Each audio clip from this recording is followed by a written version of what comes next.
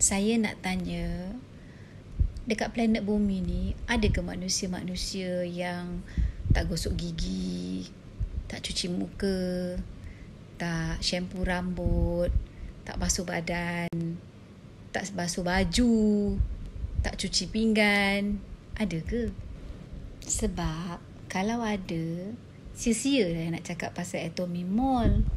Sebab dia takkan membeli. Bukan keperluan harian dia. Tapi mungkin dia boleh juga dia boleh beli kopi. Dia boleh beli suplemen. Hmm.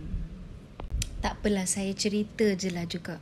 Selama ni kita memang pergi kat pasar raya, pasar raya untuk beli barang-barang keperluan harian kita.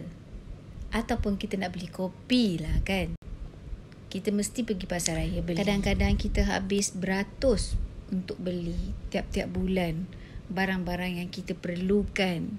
Yelah, kalau tak, busuklah badan kan. Kusailah rambut. Buruklah gigi. Ha, lari semua Apa yang kita belanjakan dekat pasar raya, pasar raya tu, lepas tu hangus. Tak dapat balik satu sen pun. Sebab tu saya ajak you all semua shopping dekat Atomy Mall. Sebab di Atomy Mall, bukan takat produk-produk dia sangat berkualiti, harga berpatutan. Tapi, perbelanjaan kita tu tak menjadi sia-sia. Sebab kita ada peluang. Peluang untuk mendapatkan balik semua yang kita dah belanja tu. Sebab produk-produk di Atomy ni sangat-sangat bagus memang kita terpaksa bercerita. Mana tanya? Bila orang tanya, eh, cantiknya muka. Ni pakai apa? Bestnya sabun basuh pinggan ni. Tangan lembut. Senang je cuci. Eh, mana you beli eh? Bersihnya baju. Bau pewangi tak hapak. Mana you beli sabun ni eh? Sedapnya kopi ni. Wangi bau dia. Kat mana you beli eh? Bila orang tanya, nak tak nak memang you terpaksa bercerita pun. Benda bagus, memanglah kita cerita. Memang fitrah kita pun suka berkongsi benda-benda yang baik, share-share benda-benda yang baik. Selama kelamaan, tanpa disedari, ramai orang membeli. Asalnya daripada you. Sampai satu tahap tu, points you dah terlampau banyak sebab dah terkumpul beramai-ramai dengan kawan-kawan tadi tu.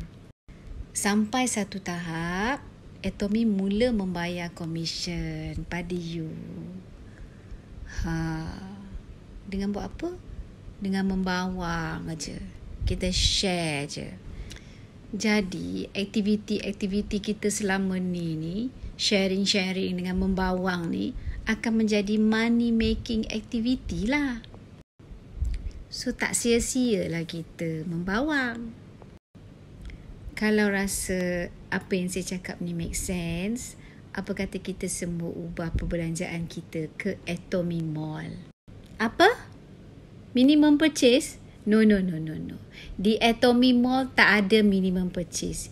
You can buy apa saja yang you nak, berapa saja yang you nak. Terpulang pada you. Kena maintain points baru dapat barang? No, no, no, no, no, no. Tak ada. Dia tak ada kena maintain, maintain points ke, maintain berapa barang nak kena beli ke. Semua tak ada. Terpulang pada you je. Apa yang you nak beli, beli. Membership kena bayar? Tak, tak ada, tak ada. Membership free je. Tak payah bayar satu sen pun. Membership. Free je. So, masuk jadi member. Lepas tu, you dapat ID.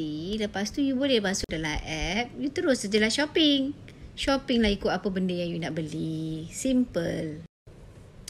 So, apa lagi?